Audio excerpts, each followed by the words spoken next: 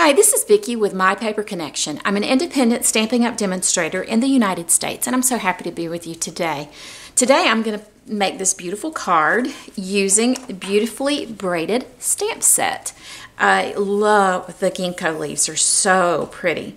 And um, this set actually comes well, you can buy it as a bundle. You can purchase a punch that comes with it that actually does some, some braiding work in the paper. It's really, really cool. I'm not going to do that today. Today, I'm going to be, um, I'm going to sponge on ink on this page. Um, on my card front and then stamp the ginkgo leaves on the top of it. So without further ado, let's get started. To do my sponging, I am using a, um, well actually from the, the annual catalog, there's these circular pieces of sponge. And you can cut them into fours. You get four pieces out of it. And that's what I'm using to sponge my card front. And I'm, I'm starting out with pineapple punch. I'm just, and the way you do it is you just kind of start along in here and then work your way across. You start with your lighter color first, get it to its desired consistency. Then you're going to switch over to another uh, sponge. I'm using Granny Apple Green here. Again, start off the side of the page so that any sponge marks like this will start on the side of the page first. And so you can avoid having big marks across it. I'm not real sure what got on there for them to have the little circles, but we'll see. We'll see if I can cover that up.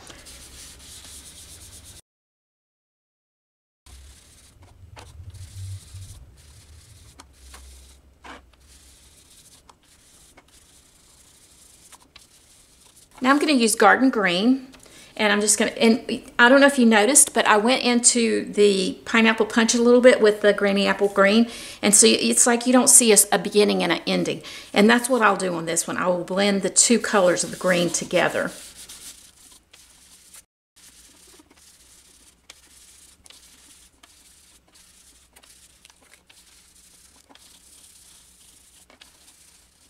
The next thing I've done is I've brought in my Stamparatus and I had already placed my stamp set on, or my, my stamp on the um, plate, but let me show you how I did that.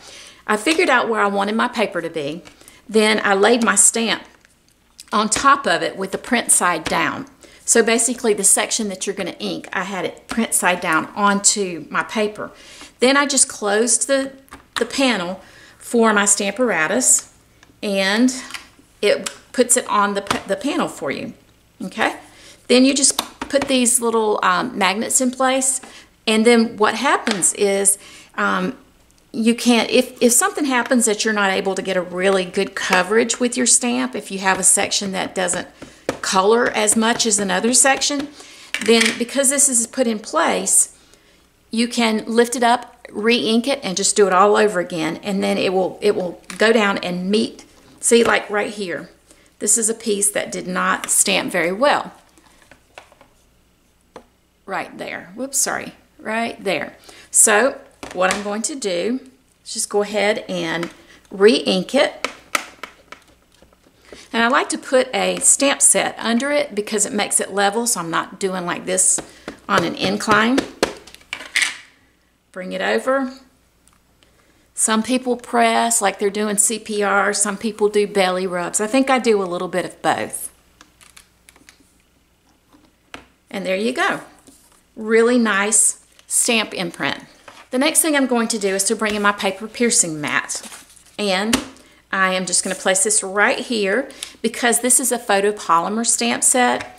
And being photopolymer, it, you just get a better coverage when you have that cushion underneath it. So I'm just going to come down here and stamp this right at the bottom. Like that. The next thing I'm going to do is to run my Granny Apple Green cardstock through my Mo Memorable Mosaic 3D embossing folder. Um, for this one, I used an embossing folder that came with one of the Celebration stamp sets, but since you can't get that anymore, I wanted to use one that you could purchase if you were interested in it. So I'm going to use, use this on my um, die cutting machine and emboss it, I'll be right back. Okay, and the next thing I'm going to do is to put my card together. See, this is a little bit different background. Than this one, but it's still very pretty. I really like it. So I'm using Pineapple Punch as my cardstock. Gonna go ahead and burnish that. It is five and a half by eight and a half, scored at four and a quarter. Don't worry about the sizes though. I will have all of that listed on my blog. Um, and then I'm using Granny Apple Green. And I will put that on top of Basic Black.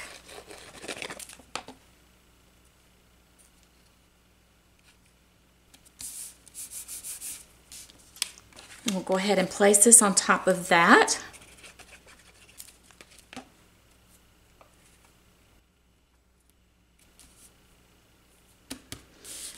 Then I will glue this on top of my card base. I usually like to work in, in from the top down. Um, sometimes I don't, but most of the time I will work from the top down. So there we go.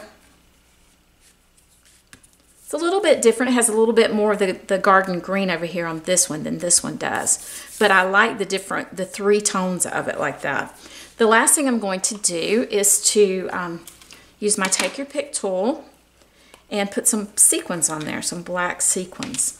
And what I like to do is use the putty part of my Take Your Pick tool and glue dots. So I'm going to come in here and pick up the, um, one of the um, sequence. I'll lay it on top of the glue dot and then pick it up and put it in place. Let me see if I can find a larger one. Okay, we'll lay another one down here on top of that. That's just about the same size of that glue dot, which is what I wanted.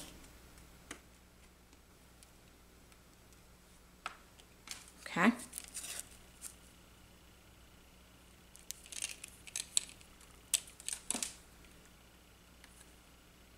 And if any of your glue dot shows, just take your pointy tool, whatever it may be, and just stick it up under there.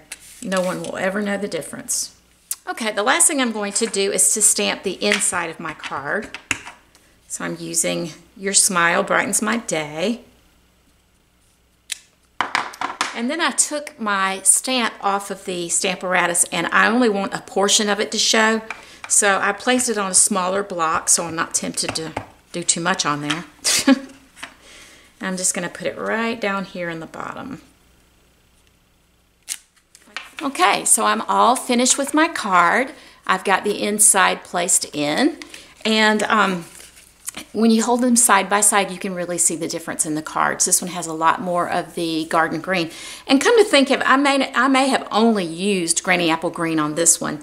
Um, I made this one a couple of weeks ago in my during my planning stages and I didn't write it down, which I should have done, but you know what? I'm really happy with the way it turned out with the, the garden green in it. Um, I hope you enjoyed this video. I hope you like the card.